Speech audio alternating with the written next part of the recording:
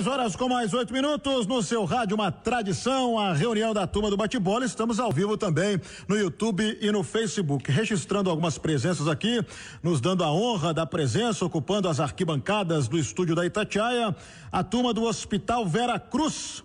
O Luiz Fernando Moraes, atleticano, o Eric Reis Daniel, cruzeirense, Aquila Cota também cruzeirense. Obrigado, pessoal, pela visita. Bem-vindos e também boas-vindas ao Hospital Vera Cruz Novo